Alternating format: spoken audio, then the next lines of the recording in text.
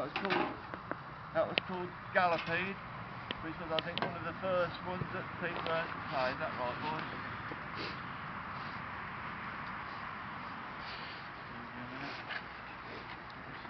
I need this. They don't.